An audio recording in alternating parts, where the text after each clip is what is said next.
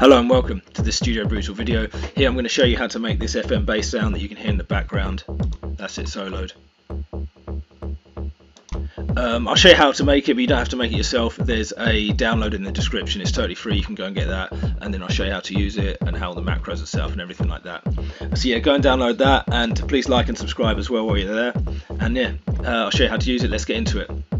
So basically, this sound, I mean, you, it's uh, it, this sort of bass was used a lot in um, sort of those tribal house records of the late 90s, and it's used in a lot of modern techno records. It is basically um, a simple envelope FM sound like you get in deep house basses, but then it's it's distorted a lot and um, and it's detuned, and some of the FM's detuned. So yeah, that's the overview of the patch. I'll just show you the synthesis real quick, and then I'll show you how the macros are set up so you can um, play it. So yeah, so first of all, it's an FM sound, so you've got Ableton Operator. I have set it up so that I don't know if you can see this, um, the little Tetris icon, uh, the routing is set up as this one. I did a similar video with this setup for uh, EBM bass. So what you've got is the yellow one, A, is just sub bass, it's going straight to the output, it's not doing any FM, it's just separate, straight to the filter, not straight to the output, sorry, straight to the filter. If I take it off and put it back in, if I solo it, that's it. It's just a sub bass, this is a really cool routing for having a sub bass underneath some FM. Um, but then, yeah, and B B and A are basically both the same. They're both uh, sine waves, um, almost exactly the same.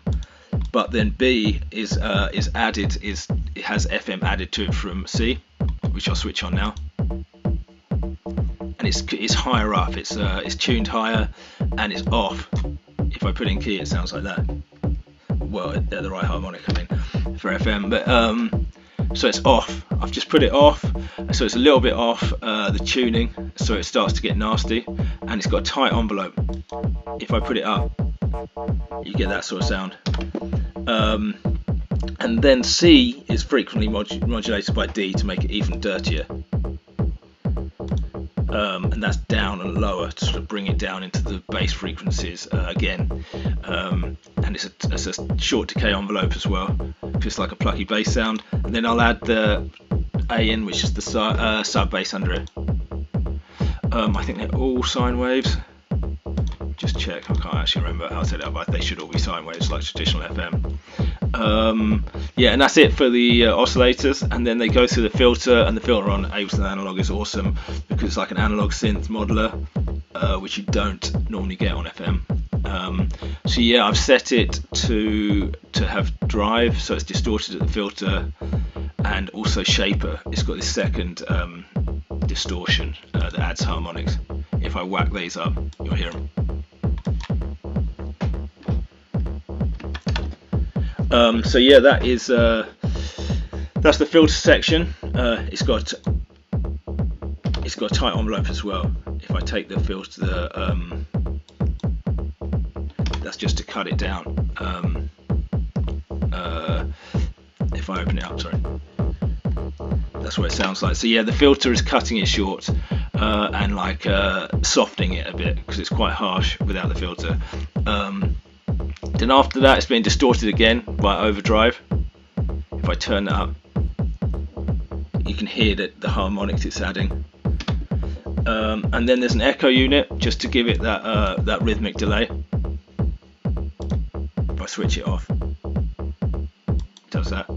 And then after that, uh, it's a drum bus. Just it's not it's not on. Um, it's only default set at 20%, uh, so it's not doing a lot, but it's like gluing. Um, it's it's bringing the delays out of basically is what it's doing. It's distorting everything and bringing it a bit higher. Um,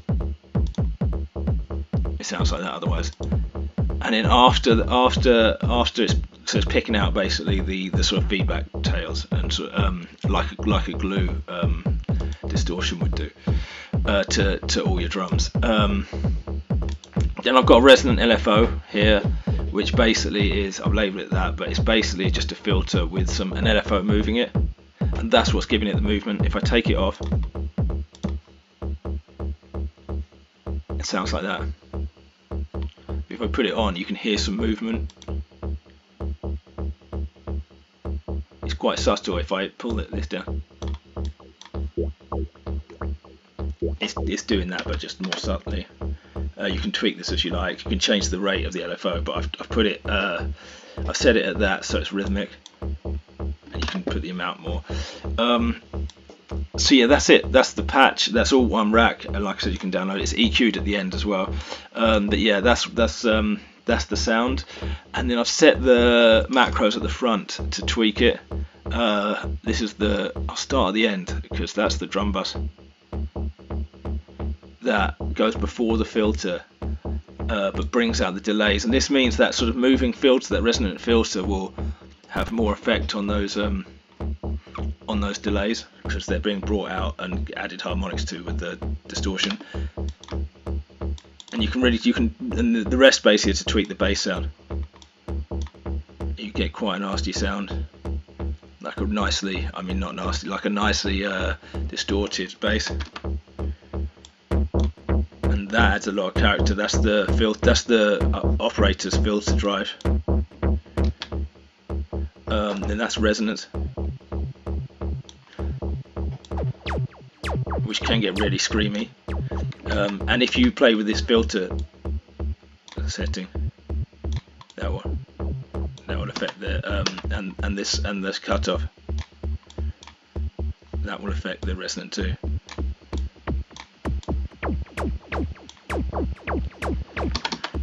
Uh, so yeah, that's that's uh, resonance uh, and filter cutoff, and then these two are the FM controls. Um, oscillator D, it's just the level, but it's how much um, FM they'll be they'll be providing. They'll be uh, um, it's the FM level. So yeah. So that's pushing. That's that's basically uh, the the low top uh, FM, and that's the high one and you can tweak these and while while it's while the sound's playing um, and automate them and keep the sound moving basically.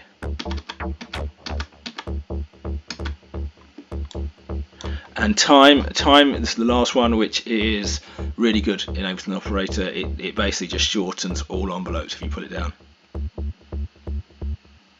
Or, or if you push it up, it opens them all. I normally set that as the first macro for my FM patches or for any operator patches. Um, it's pretty good. Wavetable has the same feature as well. So yeah, that's it. Um, I think you there all the macros are set up there to tweak. If I was going to uh, automate anything else, it would be this filter. You can automate that a bit. Um, but yeah, that's it. So yeah, that's it. I hope you find this useful as a good starting point, at least anyway, for this kind of bass sound. And if you take all the distortions off, it's probably going to be like a sort of deep house bass anyway. Um, so yeah, uh, I hope you found this useful. Please leave us a comment below. Um, like and subscribe if you can. And uh, yeah, that's it for, for me for today. Um, have a good day and good luck with the music making. Take care. Goodbye.